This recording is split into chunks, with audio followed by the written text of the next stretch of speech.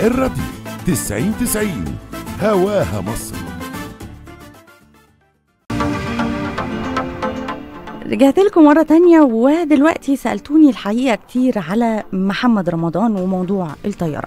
خلوني أحكي لكم الموضوع كده من الأول. محمد رمضان قلب الدنيا آه، من امبارح تقريبا على ال social media بسبب صورة آه، نشرها ليه واقف قدام طيارة خاصة مكتوب عليها MR وهي أول حرفين من اسمه محمد رمضان. الكل طبعا افتكر إن هي طيارة بتاعته الخاصة لما كتب تعليق عليها أول رحلة بيها لسانت كاترين وطبعا التعليقات بقى انقسمت بين مباركة وبين غضب وجمل بقى من نوعية آه، راعي الناس اللي مش لاقية تاكل وده يمكن اللي خلى محمد رمضان النهارده يصرح بحقيقة الطيارة وإنها مش بتاعته وتابعة لإحدى شركات البترول. وكانت عاملة بيها رحلة ترفيهية بعدد من الشخصيات العامة لمنطقة سانت كاترين ولكن بعيدا بقى عن الخبر إيه رايكم أصلا في فكرة إن فنان يكون عنده طيارة خاصة؟ شايفين إنه آه، يعني يعلن عنها ولا لأ؟ عشان ما يصيرش يعني غضب الناس. في الحقيقة يعني أنا هقول لكم الرأيين وأنتوا قولوا لي. يعني أنا هتكلم. باسم محمد رمضان وهتكلم باسم الناس اللي متضايقة. محمد رمضان بيقول أنا آه، بدأت من الصفر. ولسه صغير في السن.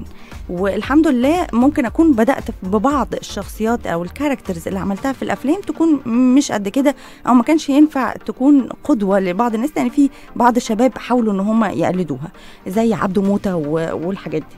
آه، وقال إن هو بعد كده الناس تبتدي بقى آه، تحاسبه على الجديد. وفعلا ال- الأدوار اللي عملها بعد كده يمكن كانت أحسن كتير من عبده موته آه، فبالتالي هو بيتعامل بمبدأ فأما بنعمة ربك فحدث.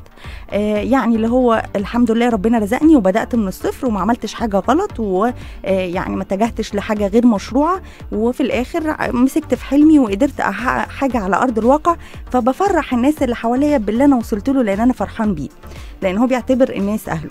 ده كلام محمد رمضان. أما كلام الناس المعترضة أو اللي ضده بتقول لأ في ناس لازم نراعي مشاعرها مش لازم إن أنا آه، أبين كل حاجة آه، قدام الناس لأن في ناس ممكن يعني أجرح إحساسها بإن أنا أبين لهم إن أنا أعلى منهم أو إن أنا أحسن منهم. أنتوا مع أنهي رأي فيهم ورايكم إيه في الموضوع ده؟ دي القصة باختصار اللي حصل على موضوع الطيارة ومحمد رمضان.